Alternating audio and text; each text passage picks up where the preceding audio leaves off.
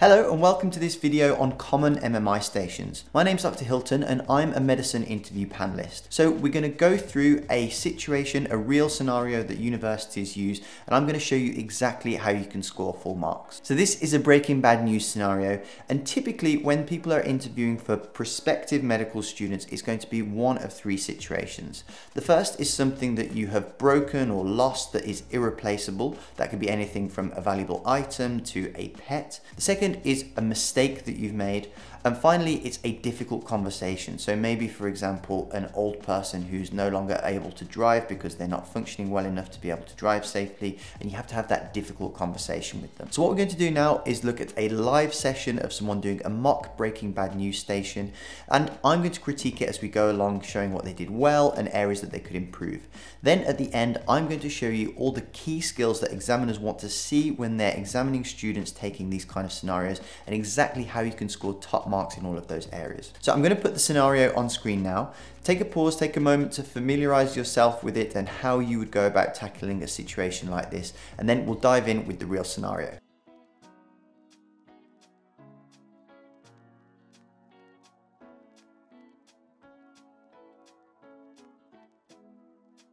Hey Tanya, how you doing? Hi, how's it going, Annie? Yeah, I'm good, thank you. How's how you been doing? What you been up to? Yeah, good. Uh, had a nice weekend. It was really relaxed. I just, uh, I mean, I couldn't really go anywhere at the moment, but I just watched yeah. as much Netflix as I physically could, and um, nice. yeah, I just completed all of the Queen's Gambit. It was really good. Have you seen it? No, I haven't. I'm actually start watching it now. Yeah, oh, you should watch it. It's it's really really good. Yeah. I'm, i do have some bad news for you, unfortunately, though. So here we started with a nice introduction. It's important to match the level of your familiarity to the context of the situation. So here you're friends with the person, you know them well, so you can chat to them like a friend. But what's really important is if you're in a formal situation and you don't know the person, it's always important to introduce yourself first and make sure that you're speaking to the right person and get their consent to do so. The only critique that I would make of this introduction is that she does start very cheery.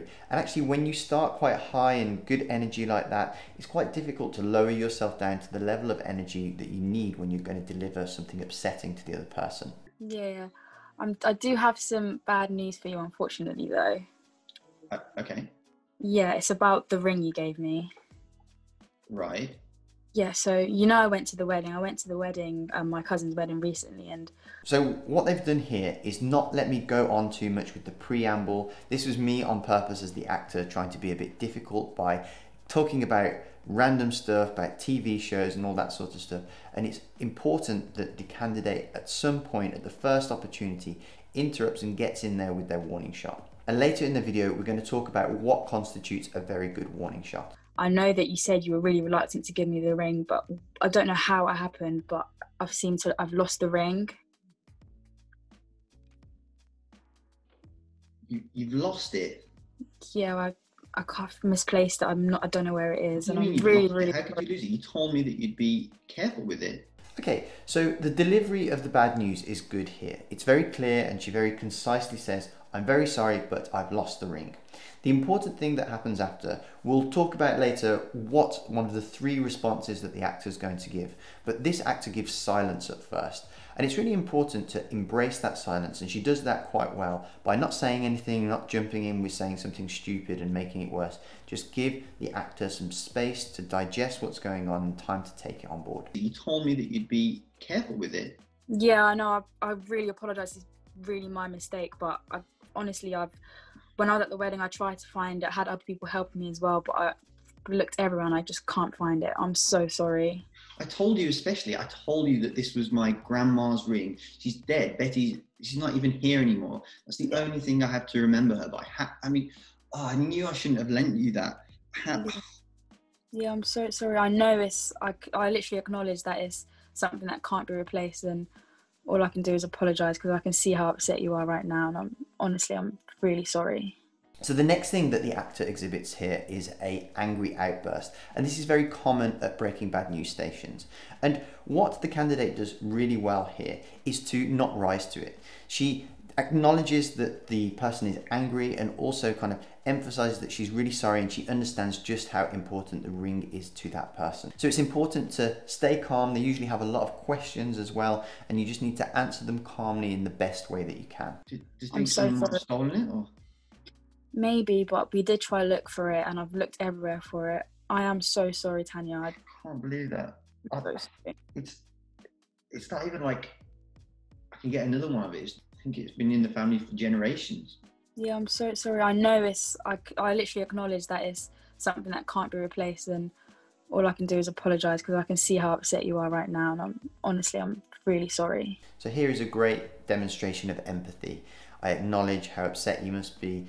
I, I can't, I'm so sorry. Just generally showing that she is really remorseful about what happened and she regrets it and didn't mean it to happen. I mean, have, have we even contacted the venue? Could we, could we do that?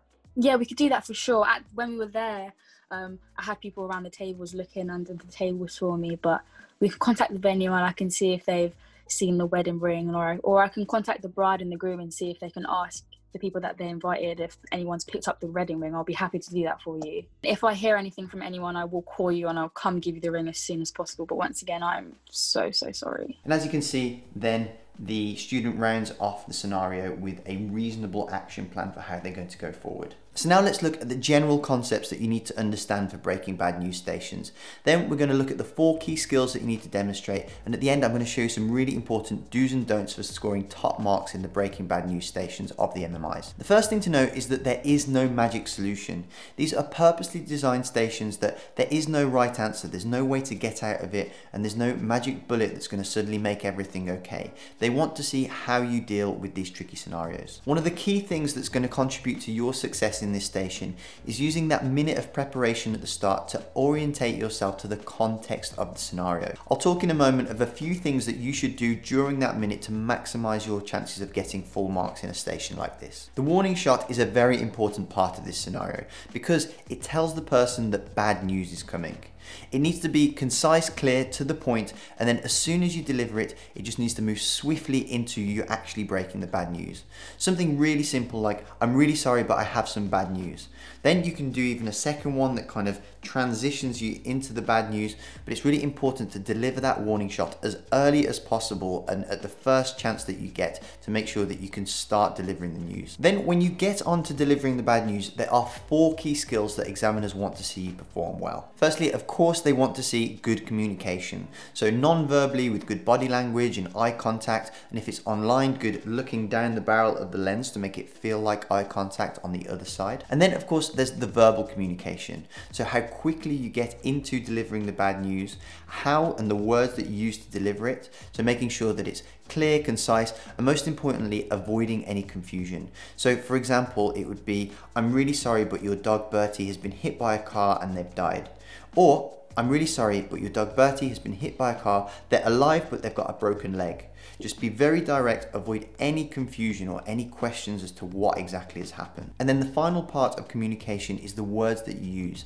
Do you accept responsibility when it is your fault? And do you use words that reflect that? The second skill they want to see is empathy. And this is all about how you acknowledge how the other person is feeling. Just a real empathetic sentence like, I can't imagine how you must be feeling right now, or this must be so terrible for you, I'm so sorry. Sentences like this show that you can put yourself in their shoes and at least try to understand or realize that you can't possibly understand what they're going through. The third skill they want to see is you showing honesty and integrity by admitting fault. And that's very simply just how you own up to the mistake. And then the final skill they want to see is how you manage an emotional outburst. Once you've delivered the bad news, one of three things is going to happen. They'll either get silent, angry, or sad. If they get angry, stay calm. As I said, acknowledge that they're angry and just let them say exactly what they want to say without interrupting them and eventually they'll come down to your level. Same if they're sad, just a sentence to acknowledge that. I can't imagine how you must be feeling right now. That is a great stock sentence to have ready for most Breaking Bad scenarios. And finally, if it goes silent, just make sure you embrace the silence.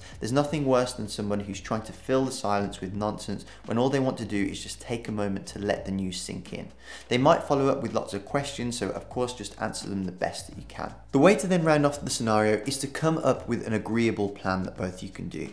Now this is something reasonable. Remember that it's something that you can't usually fix. So it's just taking some steps to address the situation. It could be going to look for something, trying to help in some way. It could even be as simple as going to contact someone for them that they want to tell. So maybe their parents or, or a sister or brother or something like that. So let's finish off with some important do's and don'ts for breaking bad news stations. The first do is to really maximize that one minute that you have at the start to orientate yourself with the scenario.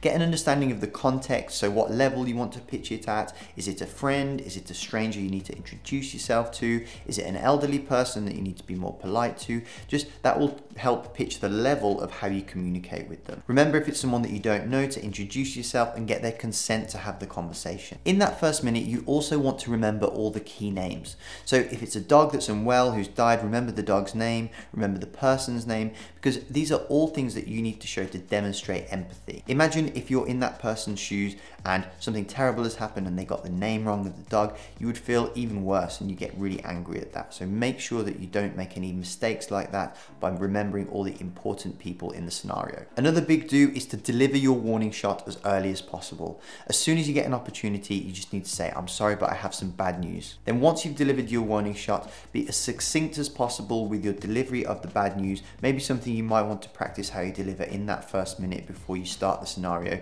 but just go straight in and use all the communication skills that we discussed above to deliver it in the best way possible. And the final do is make sure that you admit fault when it's justified. One of the big don'ts is to not fabricate facts. What people tend to want to do is to kind of think of reasons why they're not at fault. Remember, this is something that you can't fix and it's something that they want to see how you handle a difficult or a really impossible situation with no solution. Another big don't is when they inevitably have an outburst, don't rise to it. Just stay as calm as possible, don't interrupt them, let them finish and they'll come down to your level. And the final don't is that although this is fake and we all know that it's not a real scenario, don't act as if it is. Just pretend and act as much as you can and do what you would do if this was a real scenario. Not only will it get you better marks, but it will put you in the situation and help you think of exactly how you would talk if this were to happen in real life, and that will reflect in the mark that you get. If you'd like some more help with your medicine interviews, I've made a playlist here of all the 12 areas that are tested at medical school interviews and how to score highly in them. So thanks for watching this video and I'll hopefully see you over in one of those vídeos. viriais.